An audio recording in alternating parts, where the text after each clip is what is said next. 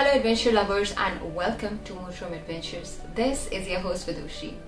Now we all are aware about the current pandemic and we are all in this together. We hope that you're taking the necessary precautions, staying home and staying safe. Now about today's video which features a disinfectant tunnel which is something that we have created going all off board from our usual customization field of creating caravans, food trucks or election expresses. More about that in the next video.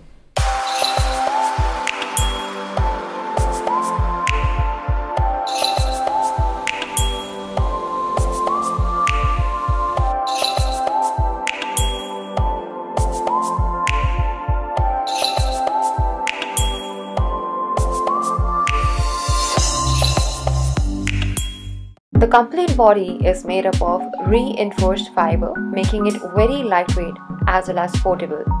Apart from that, it is built up with MS pipe ribs, which can withstand harsh conditions and weight of up to 200 kgs.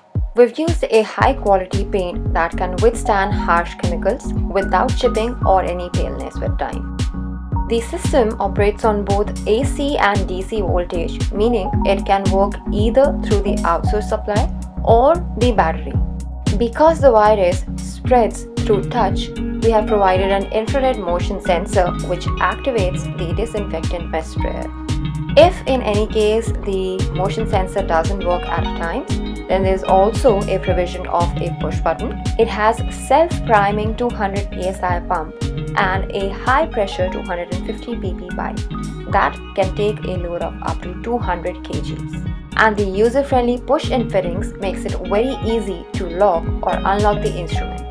Lastly, if any of you is worried about the machine being of no use after the pandemic ends, we're happy to let you know that it can also be converted into a metal detector.